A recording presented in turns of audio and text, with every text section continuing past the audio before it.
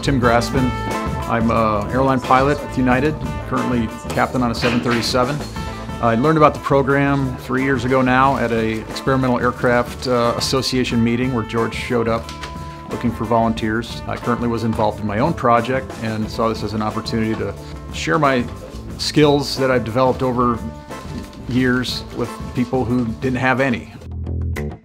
I'm a mentor for, for them. I'm a retired uh, aircraft mechanic and uh, I work for Continental United for over 30 years. I'm a private pilot, so uh, I like to pass my knowledge on. Right now there's a lot of shortage for mechanics, so we encourage, and pilots too, so encouraging these kids to get into aviation is, is what I'm doing. We were hoping just to kind of let them see another job that a lot of our students that are low income may not have known existed or known a pilot. If you ask them how many pilots do you know, a lot of them aren't going to know any pilots. So now, them being able to work with the mentors and just get that every day of being able to ask questions and realize that this is something within their reach.